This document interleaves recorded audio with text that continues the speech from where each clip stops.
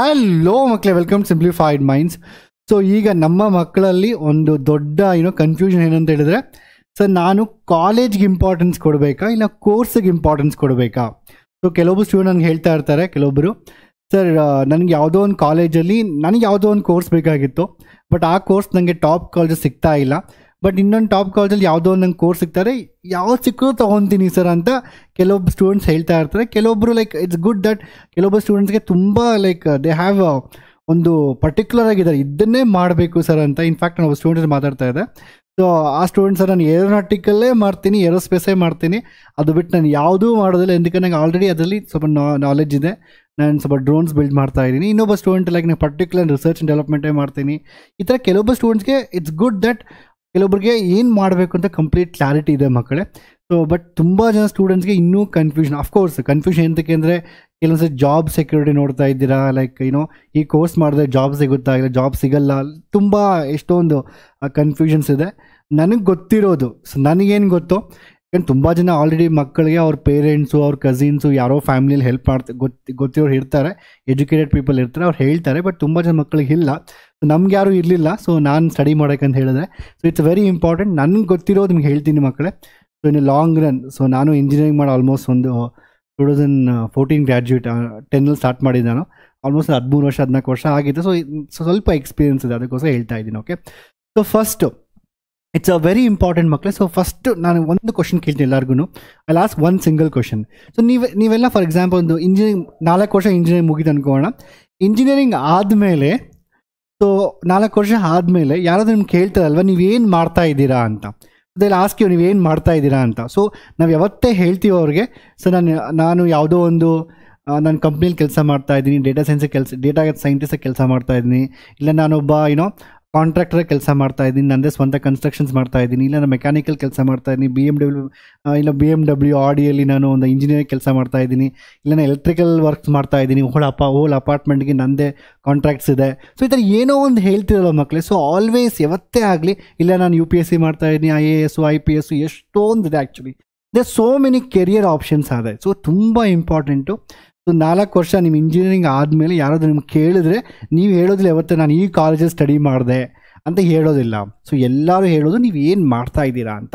So ನಾಲ್ಕು ವರ್ಷ ಇನ್ನೊಂದು ಒಂದು ಐದು ವರ್ಷ, ಆರು ವರ್ಷ ಆದಮೇಲೆ ನೀವು ಯಾವುದೋ ಒಂದು ಕಂಪ್ನಿಗೆ ಹೋದ್ಮೇಲೆ ಒಂದು ಎರಡು ವರ್ಷ, ಮೂರು ವರ್ಷ ಆದಮೇಲೆ ನಿಮ್ಗೆ ಯಾರೂ ಕಾಲೇಜ್ ಕೇಳೋದು ಇಲ್ಲ ಆ್ಯಕ್ಚುಲಿ ನೀವು ಯಾವ ಕಾಲೇಜಿಂದ ಮಾಡಿದ್ರೆ ಯಾರೂ ಕೇಳೋದಿಲ್ಲ. ನಿಮ್ಮ ಹಿಂದೆ ಎಕ್ಸ್ಪೀರಿಯನ್ಸ್ ಏನಿದೆ, ನೀವೇನು ಸ್ಟಡಿ ಮಾಡಿದ್ದೀರಾ, ನಿಮ್ಮ ಸ್ಕಿಲ್ಸ್ ಎಷ್ಟಿದೆ ಅದನ್ನು ಮಾತ್ರ ಕೇಳ್ತಾರೆ.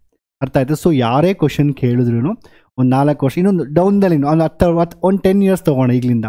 ಸೊ ಇನ್ನು ಹತ್ತು ವರ್ಷ ಆದಮೇಲೆ ನಿಮ್ಗೆ ಯಾವತ್ತೂ ನೀವು ನಿಮ್ಮ ಜೀವನದಲ್ಲಿ ಹೇಳೋದಿಲ್ಲ ನಾನು ಈ ಕಾಲೇಜಿಂದ ಬಂದಿದ್ದೀನಿ ಅಂತ. ಒಂದು ಅರ್ಥ ಕೆರಿಯರ್ ಅನ್ನೋದು ತುಂಬ ಇಂಪಾರ್ಟೆನ್ಸು ನಾನು ಹೇಳೋದು ನಿಮ್ಮ most utmost importance first importance college ಕೋರ್ಸೆಲ್ಲ ಬಿಟ್ಬಿಡಿ. ನೀವೇನಾಗಬೇಕು ಜೀವನದಲ್ಲಿ ಅನ್ನೋ ಒಂದು ಕ್ಲಾರಿಟಿ ಇರಬೇಕು. ಆ ಆಪ್ಷನ್ ನೀವು ಯೋಚನೆ ಮಾಡಲೇಬೇಕು ಮಕ್ಕಳೇ ಸೊ ಈಗ ಹೇಳಬೇಡಿ ನನಗೆ ನೀವು ಸೆಕೆಂಡ್ ಪಿ ಯು ಆಲ್ರೆಡಿ ಆಗಿದೆ. ಸೊ ಈ ಟೈಮಲ್ಲಿ ನಂಗೆ ಇನ್ನೂ ಗೊತ್ತಿಲ್ಲ ಸರ್ ಅಂತ ಹೇಳಿದ್ರೆ ನನಗೆ ಅದಕ್ಕಿಂತ ಒಂದು ಏನೋ ನಾನು ಏನು ಹೇಳಿ I don't know what to tell so you should know ಮಕ್ಕಳೇ. So second P U C ಇಲ್ಲಿ ಅಟ್ಲೀಸ್ಟ್ ಟೆಂತಲ್ಲಿ ಕೇಳಿದ್ರೆ ನಂಗೆ ಗೊತ್ತಿಲ್ಲ ಸರ್ ಏನಾಗಬೇಕು. ಓಕೆ ಪರವಾಗಿಲ್ಲ. ಸೆಕೆಂಡ್ ಪಿ ಯು ಸಿ ಮುಗ್ದಿದೆ ನಾವು, ನೀವೆಲ್ಲ ಏನು ಗೊತ್ತಾ, ಈಗ ಯಾವ P C M B P C M C ಅವೆಲ್ಲ ಬಿಟ್ಬಿಡಿ, ಅದೆಲ್ಲ ಪ್ರಾಬ್ಲಮ್ ಇಲ್ಲ. ಈಗ ಈ ಹೋಗ್ತಾ, ಏನು ಆಪ್ಷನ್ ಚೂಸ್ ಮಾಡ್ತಿದಲ್ವ ದಿಸ್ ವಿಲ್ ಡಿಸೈಡ್ ಅಂದರೆ ನಿಮ್ಮ ಕೆರಿಯರ್ಗೆ ನಾನು ಹೇಳ್ತಾ ಇಲ್ಲ, ನೀವು ಇದೇ ಕೆರಿಯರಲ್ಲಿ ಮಾಡ್ತೀರಾ ಅಂದ್ಬಿಟ್ಟು ಫಾರ್ ತುಂಬ ಜನ ಇಂಜಿನಿಯರಿಂಗ್ ಮಾಡಿ ಬೇರೆ ಬೇರೆ ಕೂಡ ಮಾಡ್ತಾ ಇರ್ತಾರೆ, ತುಂಬ ಬಿಸ್ನೆಸ್ ಬೇರೆ ಬಿಸ್ನೆಸ್ ಹೋಗ್ತಾ ಇರ್ತಾರೆ. ಹಂಗಂತ ನಾನು ಹೇಳ್ತಾ ಇಲ್ಲ. ನಾನೇ ಹೇಳ್ತಾ ಇದ್ದೀನಿ ಅಂತೇಳಿ ಒಂಥರ ನೀವು ಒಂದು you are going into N twelfth ಆದಮೇಲೆ you are entering into job profession ನೀವು ಒಂದು ಪ್ರೊಫೆಷ್ನಲ್ ಕೆರಿಯರ್ಗೋಸ್ಕರ ಎಂಟರ್ ಆಗ್ತಾ ಇರ್ತೆ ಸೊ ಇದು ವೆರಿ ಇಂಪಾರ್ಟೆಂಟ್ ನೀವು ಡಿಸಿಷನ್ ತಗೊಳ್ಳೇಬೇಕು ಕುತ್ಕೊಂಡು ಒಂದು ಸ್ವಲ್ಪ ಯೋಚನೆ ಮಾಡಿ ಬಿಫೋರ್ ನೀವು ಆಪ್ಷನ್ಸ್ ಫಿಲ್ ಮಾಡೋಕ್ಕಿಂತ ಮುಂಚೆ ಕುತ್ಕೊಂಡು ನಾನು ಏನು ಮಾಡಬೇಕು? ನಾಲ್ಕು ವರ್ಷ ಆದಮೇಲೆ, ಐದು ವರ್ಷ ಆದಮೇಲೆ, ಹತ್ತು ವರ್ಷ ಆದಮೇಲೆ ನಾನು ಯಾವ ರೀತಿ ಇರಬೇಕು, ನಾನು ಏನು ಮಾಡಬೇಕು ಅಂತ ಒಂದು ಕಂಪ್ಲೀಟ್ ಒಂದು ಮೈಂಡಲ್ಲಿ ಡಿಸಿಷನ್ ತಗೊಂಡೇ ಆಪ್ಷನ್ ಎಂಟ್ರಿನ ಮಾಡಿ. ದಟ್ ಈಸ್ ವೆರಿ ಇಂಪಾರ್ಟೆಂಟ್ ನಾನು ಯಾವತ್ತು ಹೇಳ್ತೀನಿ ಕೆರಿಯರ್ಗೆ ಮೋಸ್ಟ್ ಇಂಪಾರ್ಟೆನ್ಸ್ ಕೊಡಿ. ಅದು ಯಾವ ಫೀಲ್ಡಲ್ಲೂ ಆಗಿರ್ಬೋದು. ಸೊ ಕೆಲವೊಬ್ಬ ಸ್ಟೂಡೆಂಟ್ಸ್ ಹೇಳಿದ್ರೆ ಸೊ ನಾನೀಗ, ನಾನು, ನಾನೀಗ ಮೇ ಬಿ ನಾನು ಐ ಎ ಎಸ್ ಆಗಬೇಕು ಐ ಪಿ ಎಸ್ ಆಗಬೇಕು. ನಾನು ಮುಂದೆ ಫ್ಯೂಚರಲ್ಲಿ ನಾನು ಯು ಪಿ ಎಸ್ ಎಕ್ಸಾಮ್ ಬರೀತೀನಿ. So take the engineering subjects which help in that ಈಗ for example U P S ಸಿಲಿ already ಪೋರ್ಷನ್ಸಲ್ಲೇ ಇರುತ್ತೆ ಮೆಕ್ಯಾನಿಕಲ್ ಎಲೆಕ್ಟ್ರಿಕಲ್ ಎಲ್ಲಾನು. ಕೆಲವೊಂದು ನಿಮ್ಮ ಪೋಸ್ಟಿಂಗ್ಸ್ ಕೂಡ ಡಿಪೆಂಡಿಂಗ್ ಆನ್ ನಿಮ್ಮ ಸ್ಪೆಷಲೈಸೇಷನ್ಸು ನೀವು ಒಂದು ವೇಳೆ ನೀವು ಎಲೆಕ್ಟ್ರಿಕಲ್ ಮಾಡಿದರೆ ಅದು ರಿಲೇಟೆಡ್ ಆಗಿ ನಿಮಗೆ ಗೌರ್ಮೆಂಟ್ ಅಪಾಯಿಂಟ್ಮೆಂಟ್ಸ್ ಆಗುತ್ತೆ. ಕೆಲವೊಬ್ಬರಿಗೆ ಗೌರ್ಮೆಂಟಲ್ಲೇ ಕೆಲಸ ಮಾಡಬೇಕು ಅಂತ ಇರುತ್ತೆ. ಸೊ ಈ ಥರ ನೀವು ಏನು ಡಿಸಿಷನ್ ತೊಗೊತೀರಾ? ನೀವು ಕಾಂಟ್ರಾಕ್ಟ್ ತೊಗೊತೀರಾ ಬಿಸ್ನೆಸ್ ತೊಗೊತೀರಾ, ಇಲ್ಲ ಯಾವುದಾದ್ರು ಏನು ಬಿಸ್ನೆಸ್ ಮಾಡ್ತೀರಾ, ಯೋಚನೆ ಕುತ್ಕೊಂಡು ಯೋಚನೆ ಮಾಡಿ. ನಾನು ಯಾವತ್ತೂ ಹೇಳ್ತೀನಿ choose a career so you have to choose a career which complements your sorry choose a course I am sorry ನೀವು ಕೋರ್ಸನ್ನು ಚೂಸ್ ಮಾಡೋಕ್ಕೆ ಯಾವತ್ತೆ ಅಂದರೆ the course which complements your career so ನೀವು ತೊಗೊಳೋ ಕೆರಿಯರ್ಗೆ ನೀವು ತೊಗೊಳೋ ಕೋರ್ಸು ಒಂಥರ ಆ್ಯಡ್ ಆನ್ ಆಗಬೇಕು. ಅದರಿಂದ ನೀವು ಇನ್ನೂ ಜಾಸ್ತಿ ಕಲಿಬೇಕು ಸೊ ದಟ್ ನಿಮ್ಮ ಕೆರಿಯರಲ್ಲಿ ನೀವು ಇನ್ನೂ ಮುಂದೆ ಹೋಗ್ತೀರಾ. ನಾನು ನನ್ನದೇ ಒಂದು ಸಣ್ಣ ಎಕ್ಸಾಂಪಲ್ ಕೊಡ್ತೀನಿ. ಸೊ ಆಯಿತಾ? ಸೊ ನಾನು ಸೇಮ್ ನಿಮ್ಮ ಥರನೇ ಮಕ್ಕಳೇ ಸೊ ಸೇಮ್ ನಮ್ಗೆ ಯಾರು ಸಿ ನಮ್ಮ ಮನೆಯಲ್ಲಿ ನಮ್ಗೆ ಯಾ ನಮ್ಮಲ್ಲಿ ಟೆಂತ್ ಪಾಸ್ ನಾನು ಒಬ್ಬನೇ ಆ್ಯಕ್ಚುಲಿ ಮುಂದೆ ಹೋಗಿರೋದು. ಆಯಿತಾ? ಸೊ ಇದು ಏನಾಗಿದೆ ಅಂದರೆ ಬೇಸಿಕಲಿ ಸೊ ನಮಗೂ ಯಾರು ಗೈಡೆನ್ಸ್ ಮಾಡೋ ಇರಲಿಲ್ಲ. ಸೊ ನಾನು ಎಲ್ಲರ ಥರನೇ first electronics C S computer science ಅದು ಮೆಕ್ಯಾನಿಕಲ್ ಎವರ್ಗ್ರೀನ್ ಬ್ರಾಂಚು ಇನ್ನೊಂದು ಮತ್ತೊಂದು ಅಂತ ತುಂಬ ಕನ್ಫ್ಯೂಷನ್ ನಾನು ಒಂದು ವೀಡಿಯೋನೇ ಮಾಡ್ತೀನಿ ಸಪ್ರೇಟಾಗಿ ಈ course branch change of course ಹೆಂಗೆ ಮಾಡಿದೆ ನಾನು ಎಷ್ಟೊಂದು ಸತಿ ಮಾಡಬೇಕು ನಾನು ಫಸ್ಟು ಮೆಕ್ಯಾನಿಕಲ್ಲು ನಂತರ ಎಲೆಕ್ಟ್ರಾನಿಕ್ಸ್ ನೋಡೋಕೆ ಹೋದೆ. ಇನ್ಫ್ಯಾಕ್ಟ್ ನಾನು ಕಂಪ್ಯೂಟರ್ ಸೈನ್ಸ್ ಮಾಡ್ತಾರೆ ಫಸ್ಟ್ ಒನ್ ಇಯರು ಮತ್ತೆ ಚೇಂಜ್ ಮಾಡಿಕೊಂಡೆ. ಸೊ ನಾ ಸಿ ಈ ಥರ ಮಿಸ್ಟೇಕ್ಸ್ ನೀವು ಮಾಡಬೇಡಿ ಆ್ಯಕ್ಚುಲಿ ಸೊ ನಾನು ತುಂಬ ಸರಿ ಮಿಸ್ಟೇಕ್ಸ್ ಮಾಡಿದೆ. ನೀವು ಮಾಡಬಾರ್ದು. ಸೊ ಫಸ್ಟ್ ಒಂದು ಫಿಕ್ಸ್ ಆಗಬೇಕು ಒಂದಕ್ಕೆ. ಆ್ಯಂಡ್ ಸೊ ನನ್ನ ನಂದು ಎಕ್ಸಾಂಪಲ್ ತೊಗೊಂಡ್ರೆ ಸೊ ನನಗೆ ಫಿಕ್ಸ್ ಆಗಿತ್ತು ಮಕ್ಕಳೇ ನಾನು ಟೀಚರೇ ಆಗ್ತೀನಿ ಅಂತ.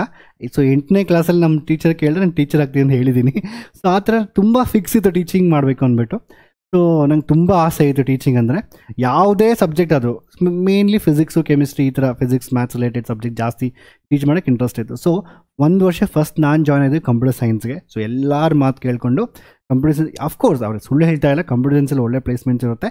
ನಾನು ಒಂದು ಟಾಪ್ ಕಾಲೇಜಲ್ಲಿ ಜಾಯ್ನ್ ಆದೆ. ಆ್ಯಂಡ್ ಕಂಪ್ಯೂಟರ್ ಸೈನ್ಸಲ್ಲಿ ಜಾ ಜಾಯ್ನ್ ಆದರೆ ಒಂದು ವರ್ಷ ನಾನು ಯೋಚನೆ ಮಾಡ್ತಾ ಇದ್ದೆ. ಸೊ ನಾನು ತೊಗೊಂಡೋಗಿ ಈಗ ಫಾರ್ ಎಕ್ಸಾಂಪಲ್ ನಾನು ಟೀಚರ್ ಆಗಬೇಕು. ನಾನು ಎಂಟನೇ ಕ್ಲಾಸ್ನ ಟೀಚ್ ಮಾಡ್ತಾ ಇರ್ತೀನಿ. ನನಗೆ ಟೀಚಿಂಗ್ ತುಂಬ ಪ್ಯಾಷನ್ನು ಸೊ ನಾನು ಕಂಪ್ಯೂಟರ್ ಸೈನ್ಸ್ ಓದಿದ್ರೆ ನಾನು ಜಾವಾ ಪೈಥಾನ್ ಆಲ್ರೆಡಿ ಕಲಿ, ಕಲಿತಾ ಇದ್ದೆ. ಇನ್ಫ್ಯಾಕ್ಟ್ ನಾನು P C M C student ಕಲಿತಾ ಇರಬೇಕಾದ್ರೆ ನನಗೆ ಅನಿಸ್ತು ಲೈಕ್ ನಾನು ಇದನ್ನು ಟೀಚ್ ಮಾಡಬೇಕಾ ಫ್ಯೂಚರಲ್ಲಿ are you interested in teaching this Java and Python ಮಕ್ಕಳಿಗೆ ಟೀಚ್ ಮಾಡೋಕ್ಕೆ ಇಂಟ್ರೆಸ್ಟ್ ಇದೆಯಾ ಅಂತ? ನನಗೆ ನಾನೇ ಕ್ವಶನ್ ಮಾಡಿಕೊಂಡೆ. ನನಗೆ ಇಂಟ್ರೆಸ್ಟ್ ಇರಲಿಲ್ಲ ಆ್ಯಕ್ಚುಲಿ ನನಗೆ ತುಂಬ ಅಂದರೆ ಫಿಸಿಕ್ಸ್ ಟೀಚ್ ಮಾಡೋದು ಮ್ಯಾಥ್ಸ್ ಟೀಚ್ ಮಾಡೋದು ತುಂಬ ಇಂಟ್ರೆಸ್ಟ್ ಇತ್ತು.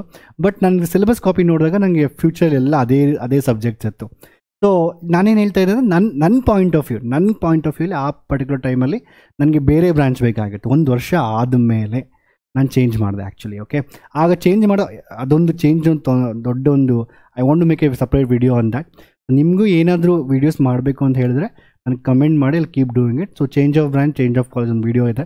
ತುಂಬ ಜನ ಹೇಳ್ತಾ ಇದ್ದಾರೆ, ನಾನು ಹೇಳ್ತೀನಿ, ಅದ್ರ ಬಗ್ಗೆ ಹೇಳ್ತೀನಿ ಬಿಕಾಸ್ ನಾನೇ ಚೇಂಜ್ ಮಾಡೀನಿ ಓಕೆ ಆ್ಯಂಡ್ ಸೊ ಅಪ್ಲೈ ಮಾಡಿದಾಗ ನನಗೆ ಯಾವುದೂ ಸಿಕ್ಕಿಲ್ಲ. ಸೊ ಐ ಗಾಟ್ ಇಂಟು ನನಗೆ ಆಗ ಸಿಕ್ಕಿದ್ದು ಸಿವಿಲ್ ಮಾತ್ರ. ಬಟ್ ಸಬ್ಜೆಕ್ಟ್ಸ್ ತೆಗೆದು, ತೆಗೆದ್ರೆ ತುಂಬ ಚೆನ್ನಾಗಿತ್ತು actually fluid mechanics hydraulics strength of materials ಅಂತ ತುಂಬ, ನೀವೇನು ಫಿಸಿಕ್ಸ್ ಸ್ಟಡಿ ಮಾಡಿದೆ ಫಸ್ಟ್ ಪಿ ಯು ಸಿ ಲೆವೆ ಲೆವೆಂತಲ್ಲಿ ಅದು ತುಂಬ ಡೆಪ್ತಲ್ಲಿತ್ತು ನಂತರ ಅದನ್ನು ಮಾಡಿದೆ ಸೊ ಜಾ ನನಗೆ ಹೇಳಿದ್ರು ನಿಂಗೆ ಜಾಬ್ ಸಿಗೋದೇ ಇಲ್ಲ ಅಂತ.